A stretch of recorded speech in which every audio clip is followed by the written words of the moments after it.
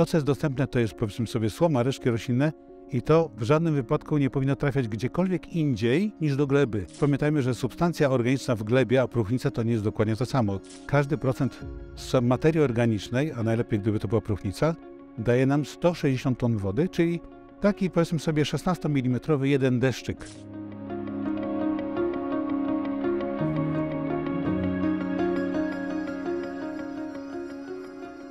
Cześć, witam Was w kolejnym odcinku, a tematem dzisiejszego programu będzie materia organiczna, próchnica, mikroorganizmy glebowe, prawidłowe nawożenie w oparciu o zawartość m.in. materii organicznej i próchnicy, a ekspertem, który o tym dzisiaj opowie, będzie pan doktor inżynier Jerzy Próchnicki.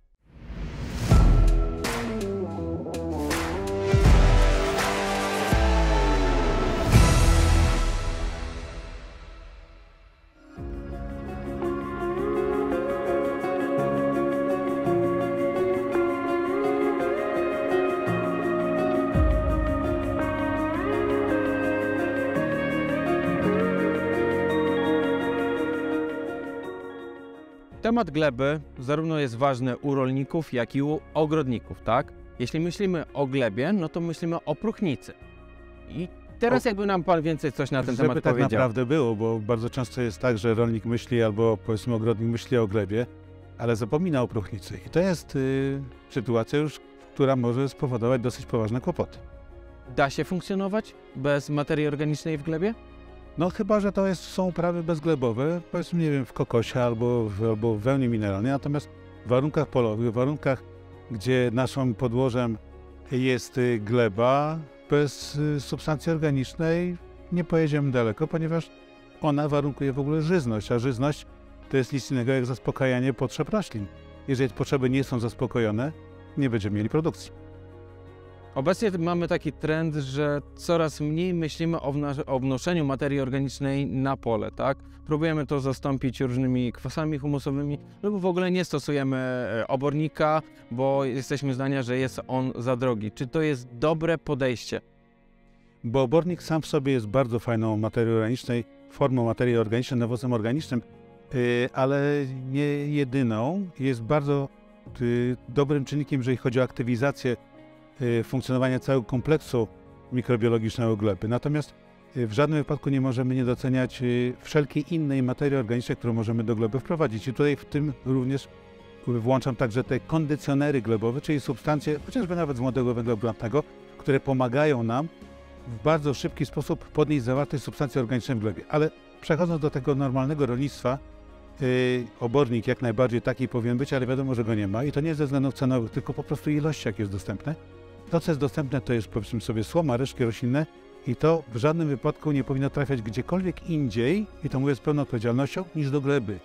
Ponieważ my z pola powinniśmy zabierać tylko plon główny, rzeczywisty, a wszystkie inne resztki powinny wrócić z miejsca, z których pobraliśmy zasoby, żeby je wytworzyć. Wiem, że pokusa jest wielka sprzedania resztek pożniwnych typu słoma, tak? No bo to jest dodatkowa gotówka dla gospodarstwa, ale tak jak Pan mówi, lepiej to zostawić na polu i żeby była wytworzona z tego masa organiczna typu To jest trochę tak, czy doić krowę, czy zabić krowę. Jeżeli tą, tą krowę zabijemy, mamy górę mięsa dzisiaj i tutaj, ale potem przez wiele lat nie mamy mleka.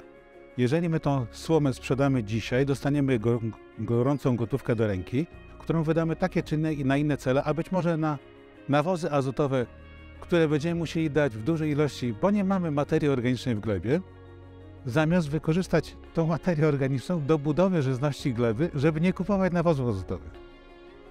Zawartość materii organicznej średnio wynosi 1,8 bodajże procenta, średnia krajowa, tak?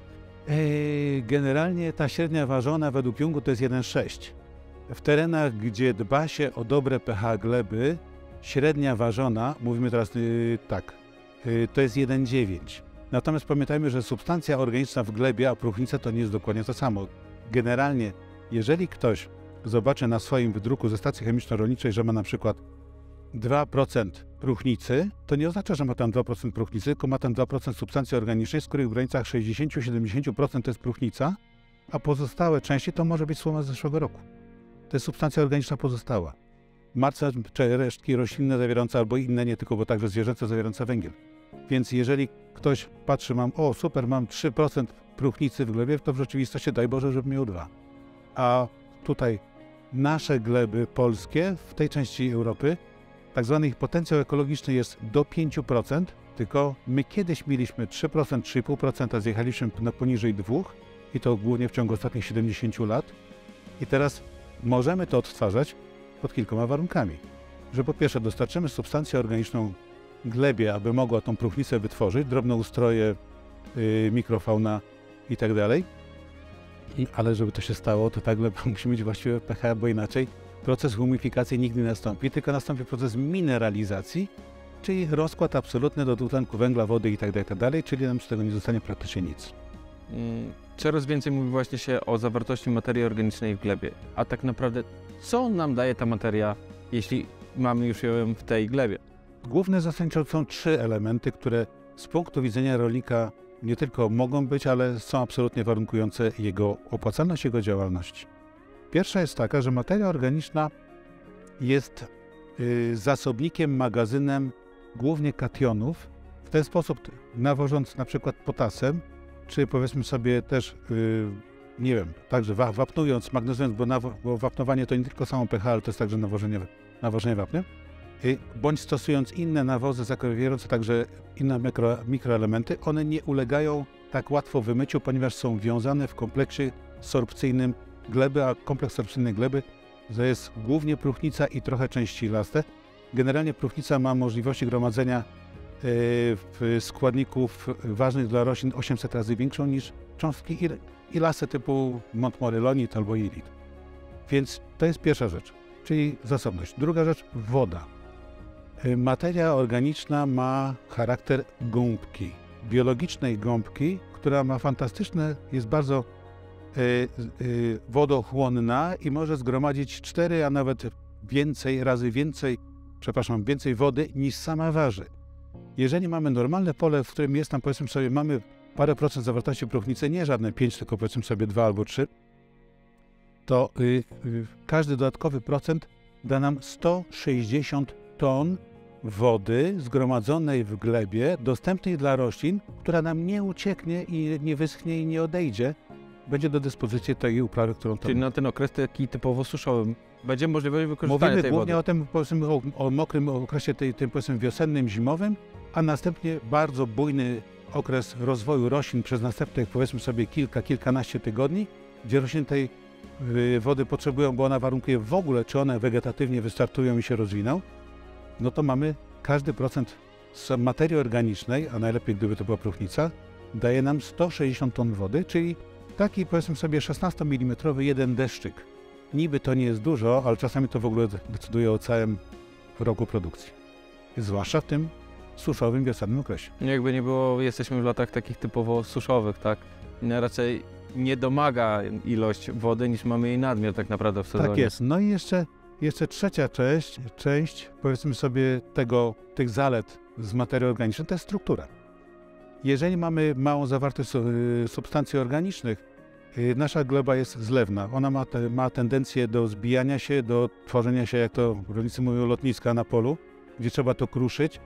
Ma także tendencję, jeżeli ją pokruszymy, do tego, żeby wiatr ją wywiewał, czy powiedzmy woda unosiła. Spadnie deszcz, zrobią się głębokie wąwozy, popłynie do sąsiada będzie wiał wiatr, a będzie susza, a będzie gleba pokruszona, polecie do drugiego sąsiada. I tylko jeszcze na, na sąsiednią wieś razem z całą tą burzą piaskową. Obserwujemy to od wielu lat, w, głównie w środkowej Polsce. Jeżeli mamy y, agregaty glebowe, które są niczym innym jak sklejoną substancją organiczną razem z częściami mineralnymi i sklejoną głównie, to mało kto o tym mówi, dzięki glomalinie, to jest taka substancja wytwarzane przez grzyby mykoryzowe, czyli grzyby, które żyją w glebie i też nie lubią niskiego pH i nie lubią stosowania fungicydów, ale kochają y, rozwijać się wspólnie z roślinami, które na polu są. One produkują glomalinę, glomalina sklepia, skleja te struktury organiczne i laste. Powstają, yy, powstają drobnogruzełkowe takie struktury właśnie agregaty, które ani woda ich nie zabiera, ani wiatr ich nie zabiera, a oprócz tego ilość zużytego paliwa na jakąkolwiek uprawę jest dużo mniejsza niż przy takiej glebie, która po prostu jest ciężka do uprawy, gliniasta, zbita, zlewna, niestrukturalna. Czyli mając materię organiczną w glebie i mikroorganizmy glebowe, tak naprawdę lepiej wykorzystujemy składniki pokarmowe, które dostarczamy w nawozach, a zarazem polepszamy e, strukturę gleby. Oczywiście, że tak. Znaczy mam, po, zasadniczo polewamy, polepszamy wszystkie elementy powiedzmy całego łańcucha biologicznego, gdzie roślina jest jednym z elementów.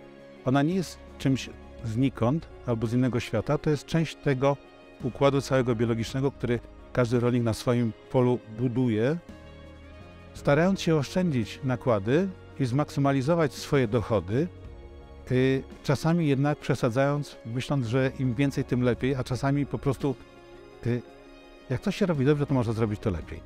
Jeśli mówimy o próchnicy, o ogólnie o materii organicznej w glebie, myślimy też o tych mikroorganizmach, tak? I co one nam dają i co możemy szukać, jakich organizmów w glebie, żeby wiedzieć, że jest ok. Zasadniczo to one dają nam wszystko. Znaczy tutaj trochę pojechałem tak całościowo, ale w rzeczywistości jest tak, że praktycznie wszystko, co z gleby możemy uzyskać, to zawdzięczamy działalności mikroorganizmów. Jest ich ponad 100 tysięcy gatunków bakterii, archeonów, grzybów, glonów itd., tak itd., tak ale w sumie tutaj widzimy takie dwie podstawowe grupy. To są grzyby i bakterie. I to jest trochę, tak, to jest trochę jak walka postu z karnawałem, to znaczy albo jedna, albo druga grupa ma pewną przewagę. Jeżeli my dbamy o pH gleby, trzymamy to powyżej tych 5,5, 6, 6,5 w, tą, w tym kierunku, dajemy przewagę grzybom. Te grzyby tym się różnią od bakterii, że one humifikują materię organiczną, czyli one jej nie zjadają do końca, tylko one przetwarzają ją w bardzo trwałe związki, które są niczym innym potem jak próchnicą po tych kilkunastu latach. Jeżeli dajemy przewagę bakteriom, na przykład przez zakwaszanie gleby albo przez nieod, nieod, nie, nieodkwaszanie jej, przez stosowanie dużych dawek nawozów azotowych, które działają silnie zakwaszająco, podobnie zresztą jak, jak y, chlorek potasu, czyli po prostu nawod, główna część nawozów e, potasowych, powodujemy, że zyskują przewagę bakterie, które są bardziej reducentami. One bardzo silnie i efektywnie rozkładają materię organiczną po prostu na najprostsze czynniki mineralne, delikatnie rzecz biorąc ją likwidują. Y, bakterie, po, czy możemy poznać działalność bakterii? No, widzimy powiedzmy sobie skutki, nie widzimy samych. Widzieć czy też grzybów. Yy, najprostszym takim elementem, który dla każdego jest osiągalny w każdej chwili, jest po prostu wziąć z ziemi, wtedy kiedy, teraz na wiosnę, kiedy jest tak dosyć ciepło, i pomachać. Jeżeli ma taki prawdziwy, ziemisty zapach, taki jak każdy rolnik zna, jak, jak pachnie żyzna gleba, ten zapach produkują promieniowce. To, jest, to są substancje produkowane przez promieniowce. Jedna z grup bakterii, która przygotowuje e, rozkład materii organicznej i w to miejsce, kiedy promieniowce zrobią wstępne przygotowanie, wchodzą grzyby i rozkładają ligniny zawarte w substancjach organicznych. A co z dżdżownicami? Dżdżownice są tym elementem, który służy mieszaniu. Mieszaniu, ale także łączeniu. Jeżeli mamy, powiedzmy sobie, słomę, która jest rozdrobniona, stależowana, ona jest gdzieś tam w tej fazie, tam nie fazie, w na głębokości 5, 10 do 12 cm rozmie zmulczowana, rozmieszana i tak dalej, ale pamiętajmy, że gleba jest dużo głębsza. Jak to się dzieje, że ta substancja organiczna przenika do gleby? Yy, dżdżownice, a mamy tego praktycznie, generalnie w Polsce 32 gatunki, 10 najważniejszych, na niżu polskim 2-4 gatunki, bo gleby piaszczyste, teraz w górach troszeczkę więcej. Yy, nie, wchod nie wchodząc w to, mamy trzy rodzaje dżdżownic. Jedne, które żyją przy samej powierzchni gleby, drugie, które żyją troszkę większe i takie bardziej blade, które żyją w tej glebie ornej i przechodzą już tak powiedzmy sobie do metra w dół. I mamy tak zwaną najważniejszą z punktu widzenia rolnika, jeżeli chodzi o strukturę gleby, dżdżownicę tą zwyczajną, czyli rosówkę, która jest dosyć taka gruba, prawie jako ołówek, długa, robi bardzo grube dziury w ziemi i ona najwięcej transportuje pobranej materii organicznej, bo się żywi tą materią organiczną martwą, gnijącą przy powierzchni i na powierzchni gleby i schodząc w dół, chowając się, po prostu transportują w dół, przenosi. Z kolei tam, zjadając po drodze jeszcze ziemię, łącząc to wszystko, wychodzi, zostawia odchody na powierzchni ziemi, tak zwane koprolity, które są niczym innym jak połączoną, już gotową, przetrawioną materią organiczną, ale to jest dalej materia organiczna, yy, razem z częściami mineralnymi gleby. Te koprolity są bardzo trwałe i w sumie są, to jest już gotowy, fantastyczny nawóz organiczny, gdyby można było, znaczy w tej glebie. I tego grzyby na, na hektarze potrafią przepracować w ciągu roku około 200 ton. To jest 200 ton fantastycznego nawozu organicznego, które ma już gotowe wszelkie połączenia, mostki magnezowo-wapniowe w strukturach y, pomiędzy, pomiędzy cząstkami organicznymi a mineralnymi. Po prostu jest to fantastyczny, gotowy nawóz organiczny. I oprócz tego napowietrzają. Oprócz tego, tworząc dziury, powodują, że woda, której się zbierze zbyt dużo y, i musi przeniknąć pod glebie, po prostu ma rynny, którymi może spływać na głębokość metra, dwóch, trzech w głąb gleby, nie powodując na, na powierzchni zabagnienia, a zabagnienie to jest pozbawienie wody tlenu, a jak nie ma tlenu w wodzie, to się rozwijają bakterie i zamiast humifikacji mają mineralizację substancji organicznej. Także to jest taki samograj, gdzie tu i każdy z tych elementów e, współgra z drugim, na drzewnictwo są tutaj tym mieszaczem. No dobrze, ale takie pytanie. Biorę szpadel, odkrywka metr na metr i na tym metrze kwadratowym ile musi być dżdżownic, żebym ja wiedział jako rolnik czy jako sadownik, że to życie biologiczne idzie w dobrym kierunku. No więc tak, jeżeli byśmy po prostu wzięli e, pod uwagę gleby orne, bo to trzeba bardzo wyraźnie rozróżnić gleby orne, użytki zielone, lasy i tak dalej. Więc w normalnych glebach ornych, w zależności od tego, jaką mamy porę roku, bo to się tam populacja drzewic bardzo mocno się waha w zależności od tego, jaki mamy, jaką mamy porę roku, to w standardem w polskich warunkach, kiepskich warunkach, od razu mówię glebowych, jest od 10 do 20 dżdżownic na metrze kwadratowym. Y, jeżeli jest gleba dobrze y, dopracowana, żyzna, bogata w y, substancję organiczną, można doliczyć się nawet setek, 800, nawet do 1000. Jeżeli mamy tutaj jakiś, powiedzmy sobie, użytek zielony, na którym jeszcze składowaliśmy obornik, w związku z powyższym tam jest dużo jeszcze do pozostałych jeszcze awartościowych składników, które których dżdżownice mogą tam szukać, możemy wyjechać nawet na, na parę tysięcy na metrze kwadratowym. Ja wiem, że to brzmi prawie niewyobrażalnie dla kogoś, kto po prostu weźmie, w polu jedzie i widzi, że y, tu jest dżdżownica, tam jest dżdżownica, no to jakie tysiące. Ale można to zbadać tak. Zrobić tą odkrywkę, sprawdzamy, jakie grube i ile jest kanałów dżdżownic. Też czasem się mówi o tym, że można przed spowodować to, że bierze się jakiś tam proszek z gorczycy, 2 litry wody, 20 gram tego proszku, wymieszać, zalać ziemię, dżdżownice będą podrażnione, będą wychodziły, trzeba je pozbierać, zważyć, policzyć.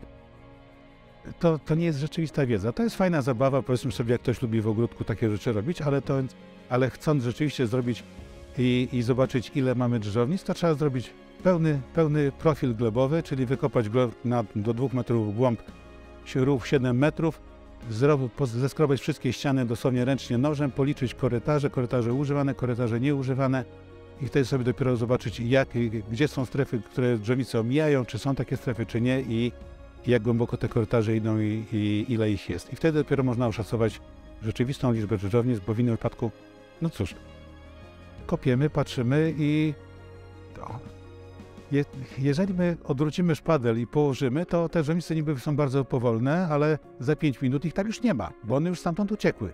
I możemy teraz rozgrzebywać tą ziemię po 5 minutach i mówimy, no prawie, no, no jedna drzewnica była, bo była przecięta, a reszta, reszty nie ma. No gdzie są te drzewnice? Szybkie są.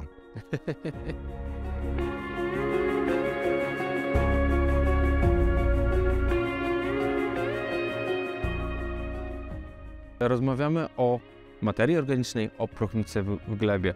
Ale co w momencie, gdy jest ta zawartość bardzo mała lub nawet bliska zeru? No to mamy taką sytuację, jak, jaka się już dzieje na dosyć dużych połaciach polskich, zwłaszcza tam, gdzie gleby są piaszczysto-gliniaste albo wręcz piaszczyste, gdzie nigdy tej substancji organicznej za dużo nie było. Mamy tak zwany efekt spirali utraty żyzności, gdzie nawet ta substancja organiczna, którą wytworzymy, nie starcza nam na odbudowanie tej, którą zużywamy albo która cały czas jest rozkładane. To jest takie yy, zaklęte koło utraty, utraty żyzności gleby. Co to powoduje? Tak jak mówiłem, o ile można na, zyskać na substancji organicznej gromadząc wodę, jest to utrata wody. Czyli większy wpływ na wszelkie zjawiska suszowe, one się będą błyskawicznie odbijać na, na kondycję roślin. Jest gromadzenie substancji odżywczych, nie ma, nie ma, mineral, nie ma materii organicznej, nie gromadzimy. Czyli to, co my wsypiemy w polu, musimy się liczyć z tym, że czego rośliny nie zdążą wykorzystać, to odpłynie. Odpłynie do wód gruntowych albo spłynie ze zmywem powierzchniowym, czyli jest kolejna strata. Trzecia rzecz, struktura. Tam, gdzie nie będzie substancji organicznej, zapomnijmy o tym, że będzie się łatwo uprawiało, że gleba się będzie szybko ogrzewać wiosną, ponieważ ona będzie zlegnięta, zimna. Nie chcę użyć określenia martwa, ale nieomalże. i wtedy nam się y, te rośliny będą dużo gorzej rozwijały na wiosnę. To jest problem, wręcz ja bym powiedział, powszechny w sadach, na przykład w sadownictwie. Na terenie Mazowsza spora część sadów stoi na glebie, która ma poniżej 1% substancji organicznej i tam jest problem z wystartowaniem wiosną sadów, ponieważ drzewa stoją w zimnej, tutaj już mają ciepłe powietrze, wszystko tego, a stoją w zimnej glebie, która po prostu jeszcze w ogóle nie jest zaktywizowana i one mają problem z wystartowaniem, a już sadząc nowe sady w takie, w takie miejsce, gdzie sad był już słaby, a pamiętajmy, że jabłonie potrzebują y, zawartość substancji organicznej 3,5%, a nie 0,9%, no to nie dziwmy się, że jakaś część tych młodych drzew po pierwsze wypadnie, a po drugie one opóźnią owocowanie przynajmniej o rok. Częsta praktyka, sad od razu po sadzie i pierwszy problem z chorobą replentacyjną. No to jest właśnie to. To jest, to jest właśnie, przepraszam, tak przerwam, choroba replantacyjna to jest suma patogenów, y, metabolitów oraz braku, braku substancji organicznej, która po prostu równoważy to wszystko i no i oczywiście w niskiej zasobności. Yy, no i mamy chorobę replantacyjną. Szybkie pytanie. Ile co najmniej lat muszę pracować, wzbogacać tą glebę o materię organiczną, żeby w efekcie potem w badaniu laboratoryjnym zobaczyć zdecydowany wzrost? Jak długo badania laboratoryjne będą nam pokazywały substancję organiczną jako próchnicę, to wystarczy przeorać słomę, bo wtedy oni to wezmą, spalą i powiedzą: OK, już ma pan 5%. Co nie jest prawdą. Natomiast oczywiście można zrobić rzeczywiste badania, czyli poszczególnych frakcji substancji organicznej i tam nawet można rozróżnić tak zwaną, y, w tym nie tylko tą bieżącą, świeżutką substancję organiczną, która ma tam, nie wiem, jeden albo trzy lata, bo to są świeże, bardzo frakcje, ale także na przykład tą tak zwaną próchnicę młodą, która ma około 15 lat, bo tyle to mniej więcej trwa, tą próchnicę średnio zaawansowaną y, swojej stabilizacji, która jest dużo bardziej stabilna i to jest chyba najbardziej wartościowa frakcja próchnicy. To jest próchnica, która tworzy się w około 50 lat po zaoraniu resztek roślinnych, a ta próchnica, która jest tak zwana próchnicą stabilna, która ma dużo zasobności, ale już prawie jest nieomalże jest nieruszana przez y, drobne ustroje, ponieważ jest to już zbyt skarbonizowany y, zespół różnych substancji, no to już jest powyżej 100 lat. Także odtwarzanie żyzności gleby jest procesem długotrwałym. Można go starać się przyspieszać. Przyspieszy się go tylko i wyłącznie dzięki obecności grzybów glebowych.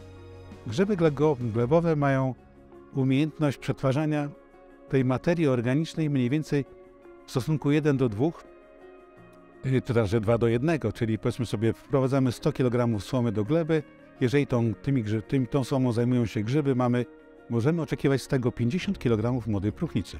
To jest szalenie dużo. Jeżeli będą się tą substancją organiczną zajmowały bakterie, to będziemy mieć mniej więcej nie 50, tylko od 2 do 15 kg y, już tej młodej próchnicy, ponieważ reszta zostanie po prostu przepalona przez bakterie. Takie pytanie końcowe w tej części programu. Mamy różne rodzaje materii organicznej, którą możemy wnieść e, na pole. Wie, wiemy o resztkach pożniwych, ale możemy wnieść e, obornik bydlęcy, koński, e, podłoże popieczarkowe. Jakby można to było uklasyfikować od najbardziej wartościowego do takiego na, najmniej wartościowego? No to jeszcze do tego bym dorzucił kurzyniec oczywiście, czyli pomiot kurzy. Yy, yy, najlepiej byłoby to wszystko zrobić w, tak, w takiej tabelce, y, zaczynając albo przyjmując jako główny wskaźnik w rzeczywistości nie zawartość azotu, potasu itd., tak tylko z punktu widzenia żyzności gleby zawartości lignin. Im mamy, czyli powiedzmy sobie tej trwałych, relatywnie albo bardzo nawet y, trwałych substancji organicznych, celuloza jest trawiona praktycznie przez wszystkie drobne organizmy glebowe. Natomiast ligninę to jest wynalazek grzybów sprzed około 200 milionów lat, gdzie one zaczęły rozkładać, rzeczywiście nauczyły się rozkładać liny i od tego czasu, dlatego też nie mamy złoży, złoży węgla od tego czasu za bardzo, ponieważ drzewa, drewno zaczęły być, zaczęło być rozkładane, a nie y, deponowane praktycznie w naturze. Ale wracając do rzeczywistości, mamy sytuację taką, że jeżeli chcemy to wszystko uregulować, to regulujemy w tabelce według zawartości lignin i celulozy, czyli kurzyniec będzie na samym końcu, ponieważ tam praktycznie tego nie ma, albo jest bardzo mało, to, to zależy kto jakie ścioły stosuje w kurniku. Najwięcej będzie znajdowało się w y, częściach zdrewniałych, czyli wręcz po prostu w drewnie. Są kraje, tak na przykład Belgia, gdzie jest praktyką stosowanie tak zwanego y, drobno fragmentowanego drewna, czy po prostu resztek y, drzewnych rozbitych w formie zrębek, typowo powiedzmy sprawa sadownicza. Tylko tam to jest 80 do 100 ton na hektar i z drzew liściastych, nie, nie daj Boże z iglasych, bo te potwornie zakwaszają. I tam przy odpowiednim utrzymaniu pH nie, nie występuje żaden, żaden objaw głodu azotowego, ponieważ głód azotowy występuje tam, gdzie bakterie zajmują się substancją organiczną, a nie tam, gdzie grzyby zajmują się substancją organiczną. Y, grzyby robią to powoli i bardzo skutecznie. Y, bakterie y, bardzo szybko, ale mniej skutecznie. Im więcej lignin, tym trudniej się rozkłada, tym dłużej trwa proces, ale jest tym pewniejszy w przejściu do próchnicy. Im mniej, im więcej celulozy albo w ogóle takiej zielonej sałatki, e, ten proces przebiega błyskawicznie i głównie z udziałem bakterii. Z tych dostępnych u nas można powiedzmy sobie y, oprzeć się głównie na słomie i to słomie takiej typu twardego czy bardziej zbożowej. Słoma rzepaczana to już jest mniej lignin, więcej celulozy. Słoma z roślin motylkowych zresztą bardzo podobnie. Także po pierwsze słoma, to jest taki typowy materiał, który jest dostępny. Potem wszelkiego typu oborniki, i tutaj trzeba sprawdzić, powiedzmy sobie, jaką zawartość po pierwsze suchej masy i co jest w składzie. I tutaj one mają oprócz tego, tego czynnika glebotwórczego, mają także dużą wartość nawozową, bardzo dużą wartość nawozową. No i, i przechodzimy później do, powiedzmy, do masy zielonej jakiejkolwiek. Im starsza jest ta masa zielona, tym jest lepiej, czyli lepiej jest zwłókniona. Stara trawa, yy, po prostu rośliny, które są po prostu już bardzo zaawansowane w swoim wieku. Natomiast im bliżej jesteśmy młodych roślin, yy, tym jest yy, Y, typu nawóz zielony, no to jest, to jest rzecz, która jest rozkładana błyskawicznie i zasadniczo tego efektu globotwórczego nie niesie oprócz tego, że przechowuje składniki pokarmowe. Y, no i oczywiście na końcu jest ten, ten kurzyniec, który jest koncentratem azotowym z pewnymi dodatkami i w ciągu dwóch miesięcy go praktycznie y, nie ma glebie.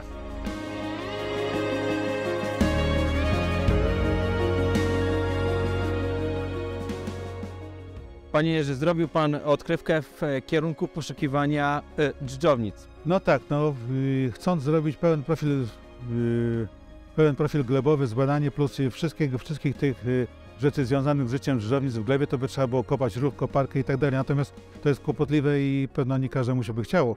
Natomiast szpadel ma każdy u siebie w domu, jakąś łopatkę jak będzie potrzeba to, to również. I można niewielkie niewielką powierzchnię, to jest rzędu 1 piątą metra kwadratowego, to jest powiedzmy sobie 20-30 cm na ten 80 y, centymetrów czy do metra takiego dołu, gdzie dochodzimy do y, początku y, właśnie potęży później, czyli powiedzmy sobie do dołu gleby i staramy się odsłonić wszystkie praktycznie te tunele, które, jeżeli takie są, które widzimy. Tutaj widzimy tuneli dosyć dużo, na tym polu tych drzewnic jest sporo. Ja tutaj wykopując to, yy, widziałem tutaj przynajmniej z 20 dżdżownic. Jest dużo kanałów. Tutaj jak kamera podejdzie bliżej, będzie można lepiej je pokazać.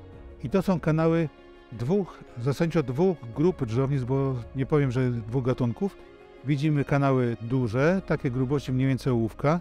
To jest dżdżownica ziemia, ziemna, zwana także rosówką i która jest najbardziej wartościowa pod względem właśnie y, tej, tego mieszania gleby, ponieważ ona robi kanały do, nawet do dwóch i głębiej metrów w głąb gleby.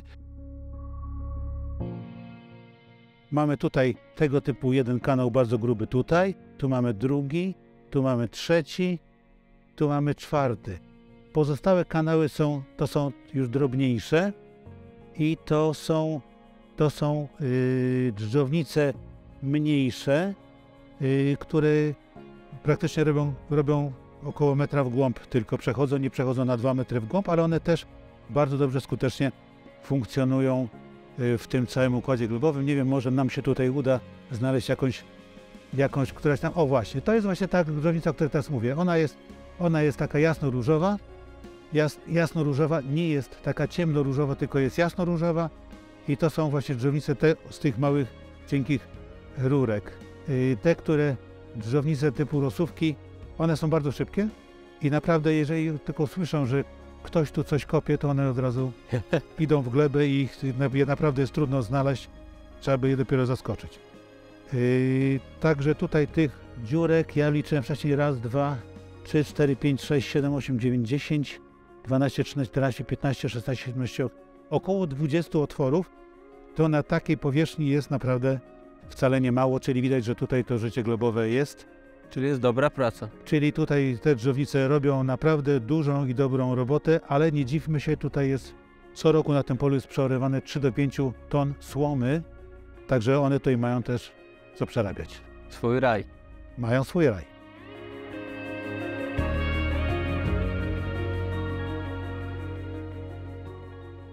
To był odcinek bardzo bogaty w wiedzę i informacje, dzięki którym łatwiej zrozumieć, jakie procesy zachodzą w glebie. Jeżeli macie pytania do naszego gościa, piszcie je proszę w komentarzach. W przyszłym tygodniu druga część rozmowy z panem Jerzym, m.in. na temat jak wapnowanie aktywizuje składniki w glebie, czy też jak nawodzić względem faktycznych potrzeb roślin. Bądźcie z nami, do zobaczenia!